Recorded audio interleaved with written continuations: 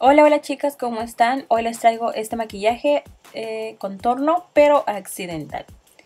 Vamos a empezar, es algo súper fácil, práctico creo que no es nada complejo. Voy a estar aplicando normalmente sí mi base, eh, mi, mi corrector debajo de los ojos para dar un poco de luz. También vamos a estar eh, sellándolo eh, luego vamos a estar aplicando también eh, lo que es contorno. El contorno esta vez lo voy a exagerar un poco más para que se pueda ver más marcado. Voy a estar utilizando la paleta de NYX de contorno que me gusta mucho. Y también voy a estar aplicando también alrededor de la frente, de la mandíbula también y también en la nariz. Puedes utilizar brochas más pequeñas, pero bueno, yo solamente con esta brocha hice todo. Ahora voy a utilizar esta brochita y voy a difuminar un poco las líneas sin borrarlas. Luego voy a utilizar un poco de iluminador. También voy a estar utilizando este material que se usa para hacer efectos y eso. Y voy a agarrar una pequeña cucharita o espátula. Voy a estar también utilizando un poquito de pegamento escolar. Y lo voy a aplicar donde quiero poner este material.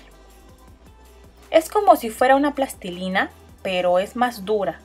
Es un poco difícil de manejarlo, aunque yo tuve que batallar bastante, pero bueno, al menos quedó algo bien. Yo voy a utilizar un poquito y bueno, sí batallé bastante para que pegara, pero luego quedó bien.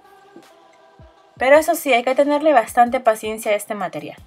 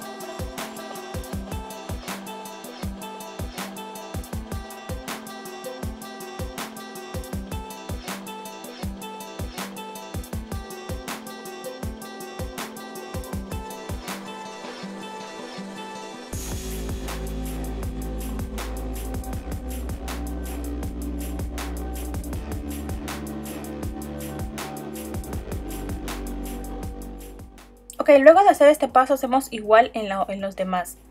En todas las partes que voy a estar pasando pegamento es donde voy a estar aplicando este material.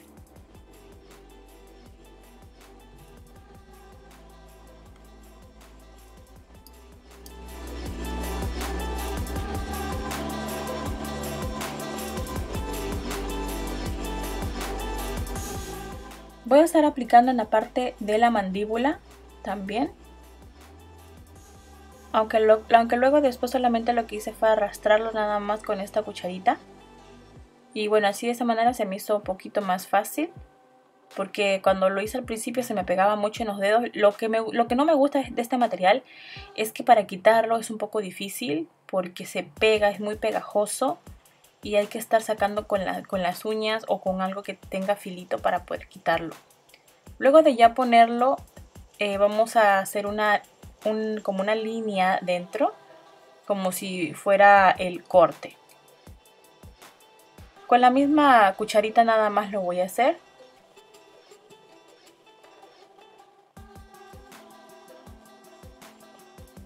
Okay, yo no soy nada experta en hacer esto porque la verdad es un poquito es complicado, siento que es complicado manejar estos materiales.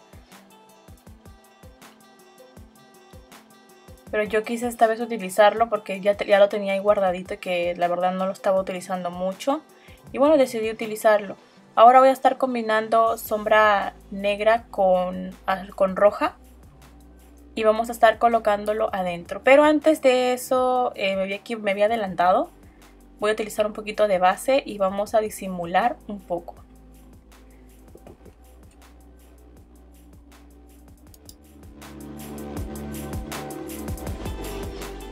Ok chicas, volvemos con el mismo paso. Ahora esto vamos a hacer en todos los agujeros que hemos hecho en todas esas líneas para hacer como una profundidad, como un agujero.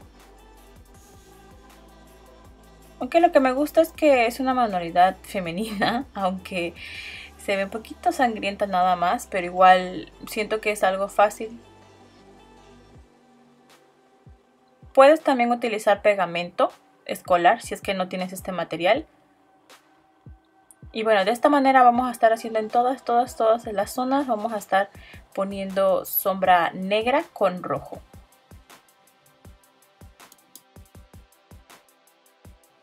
Ahora voy a estar usando sombra morada y roja. Y también a la misma vez también voy a colocar un poquito de sombra negra, pero solamente un poquito. Vamos a hacer como si fuera unos moretones alrededor de, de esos cortes. Y también de ese mismo paso vamos a también disimulamos un poco.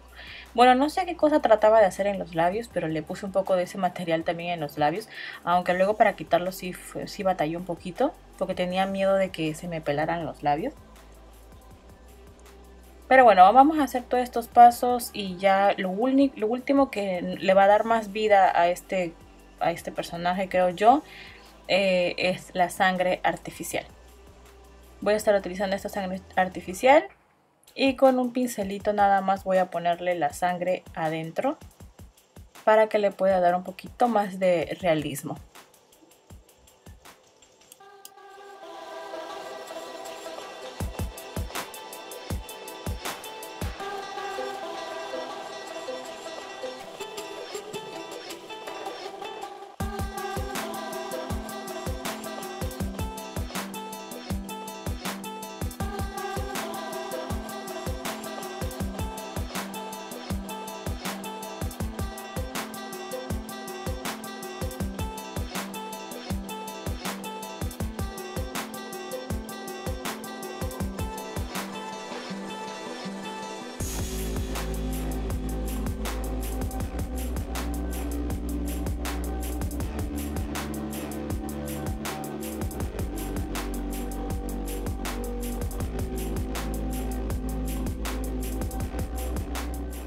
Y bueno chicas, ya con este paso ya prácticamente estamos por acabado este maquillaje.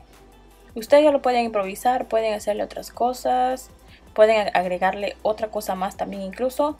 Pero bueno, yo ya no quise ponerle más para no hacerlo tan incómodo el maquillaje. Por también por el cabello si es que lo vas a tener suelto. No quería hacerlo tampoco ya de más dramático. Así que creo que así como está, creo que está bien. Y si ustedes quieren ponerlo más sangriento, bueno, lo pueden hacer. Pero ya ahí nomás lo quise dejar yo.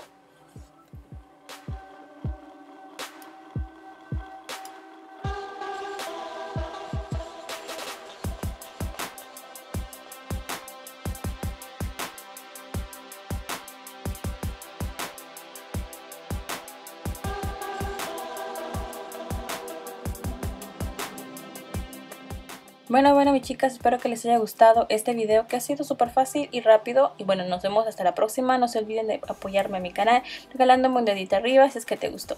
Nos vemos hasta la próxima chicas y gracias nuevamente por verme. Bye bye.